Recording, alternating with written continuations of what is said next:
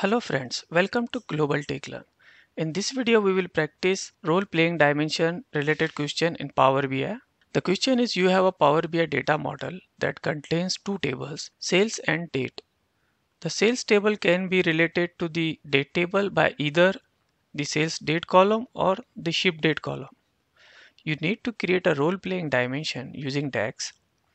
The role-playing dimension must support the ability to filter sales where ship date is in the current month and sales date is in the prior month. Which type of DAX expression should you use? And under option we have calculated column, calculated table, measure and what if analysis.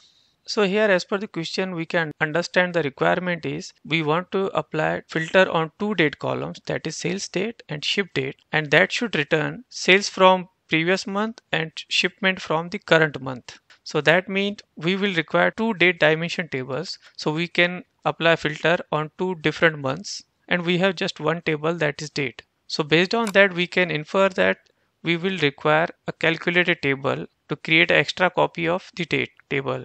So let's try that in Power BI. So here in Power BI based on the given case we have two tables one is sales table and another is date table and we want to filter based on sales date and ship date. So here we have sales date and ship date. So now here the constraint is if we create a relationship based on the sales date, let's create that. Now since we have relationship based on sales dates, the filter will work only for sales date. But we need filter for ship date as well.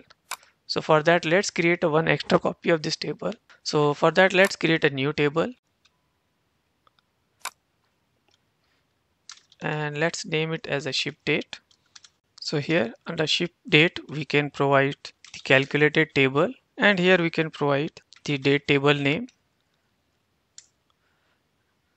and that's it.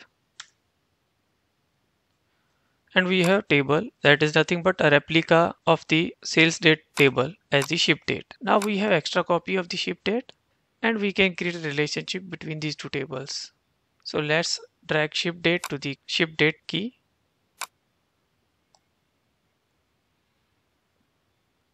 And now we have relationship between all three tables. So here we can understand the date table that is primary table that we received from the source database. We have created another copy of this table that is playing a role of ship date. So that's why it is called as a role playing dimension table. And now let's use these two tables in the visual. So here let's add one table and in table we can add both the dates. So let me add sales date, ship date and sold quantity. Now here we can see we have sales on 1st September and shipment was on 1st sep September. Similarly, if we scroll down and we need a record where sales happen in one month and shipment happens in the next month. So let's check for that record.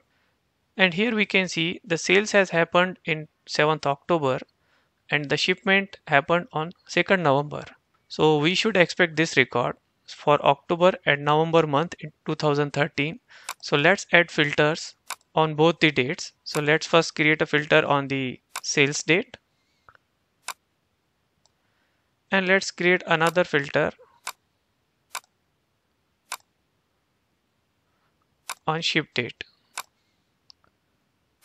Now we have both the filters. Let me zoom in. And as we need 2013 September, so let's make it as September 2013.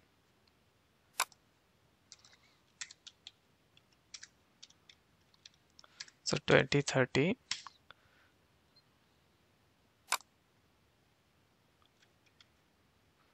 Now we have sales for September 2013 and now on the shipment date we want shipment for the October. So let's filter on the October in shipment calendar.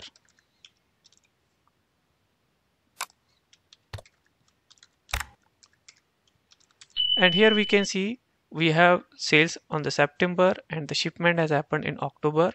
So we are able to get the data. So now let's go back to our question so here we can say using calculated table, we are able to achieve this requirement.